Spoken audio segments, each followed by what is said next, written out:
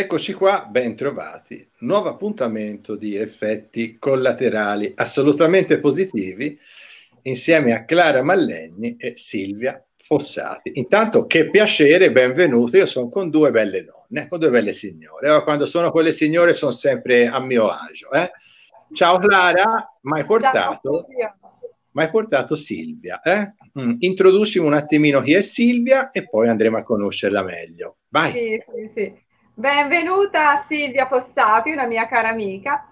Silvia è una pittrice, è una pittrice, un'artista riconosciuta a livello internazionale, ma Silvia ha un grande amore per la forma, che, porta sempre più che la porta sempre più verso la ricerca della, della plastica, diciamo. Ma vorrei che fosse lei a introdurre la, la sua arte. Silvia, benvenuta. benvenuta Silvia. Ci racconti Grazie di lei. a voi. Grazie a voi di avermi invitato. È una persona curiosa. Mi definirei una persona così curiosa che qualsiasi materiale e qualsiasi spunto mi, mi fa promuovere la ricerca in un certo settore.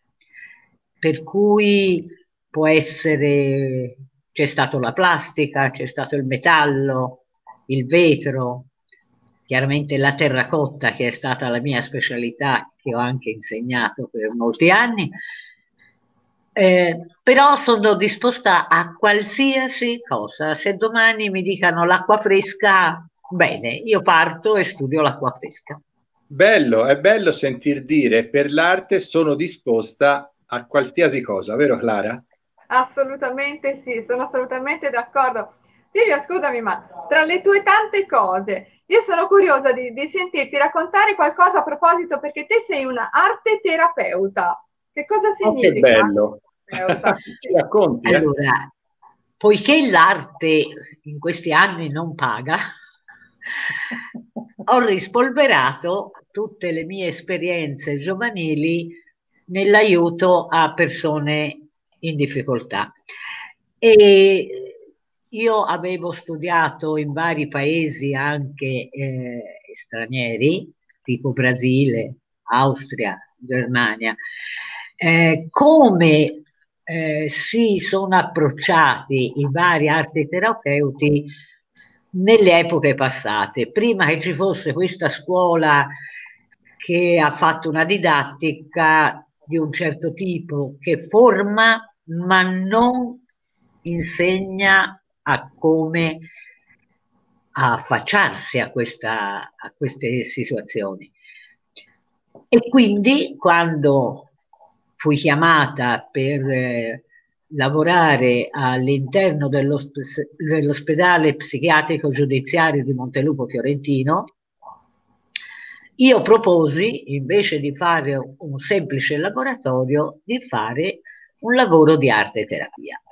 Quindi e dall'86 la, la fermo subito. Quindi, quindi con gli ospiti dell'ospedale psichiatrico praticamente creava, creava faceva creare dell'arte? Allora, io li stimolavo a fare arte perché ci serviva come chiave di lettura per capire certe problematiche che non vengano fuori dai colloqui o dalle indagini specifiche. E dall'86 che io ho cominciato sono sempre stata richiamata e, e ho lavorato tutti questi anni là e ora ancora lavoro presso l'ASL di Firenze in un centro di riabilitazione psichiatrica. Bello, ah, ho anche una cosa interessante, un artista è anche una persona che dà una mano, eh, Clara? Assolutamente sì, assolutamente Silvia, guarda, è una persona, tra l'altro Silvia è anche presidente di un'associazione, eh, eh, associazione internazionale. piano piano vi dirò tutto. Eh, ma guardi tutto, eh, non sia timida eh, con noi. Non essere timida. Allora, l'associazione che ho fondato nel lontano 1976, quando l'arte si poteva sviluppare, trovavamo anche persone che ci aprivano le porte per le sperimentazioni, vive tuttora e tuttora stimola gli artisti a lavorare su dei temi.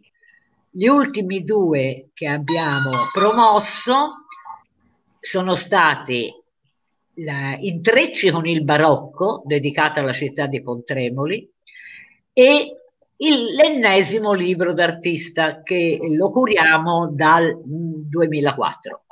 Bello. Clara è stata una dei nostri artisti per il libro d'artista e spero che continui a esserci. Soltanto quest'anno la pandemia ci ha bloccato. Lasciamo Abbiamo tutte le opere. Pandemia, eh? oh. Andiamo avanti. abbiamo tutte le opere pronte, ma non abbiamo né spazi né possibilità in questo momento di farle. Oh, ragazzi, non... facciamo, facciamo, chiediamo spazi e possibilità per l'arte. Chi ci sta esatto. seguendo, abbiate pazienza, eh? Ma c'è spazio per tutto. Ve lo dice uno sportivo giocato tanto anche a pallone. C'è spazio per il calcio e viva il calcio, ma viva anche l'arte e diamo qualche spazio no, all'arte. Esiste? Io dico di sì, eh? vero? È molto difficile normalmente, ora poi è ancora più difficile. Noi dovevamo andare in sette musei per presentare la nostra ricerca sul libro d'artista e piano piano stanno arrivando tutti che dicono non riapre, non riapre, non possiamo ospitarvi e quindi non si sa se salta o se troveremo qualche spazio che ci aprirà. Lo, lo troverete sicuramente, lo troverete sicuramente perché ci guardano, ci ascoltano, io so che lo troverete, certamente. Senta Silvia, mm, mi dice qualche pagina della sua associazione e poi Clara mi ha raccontato a camera spenta eh, di una casa blu. Eh?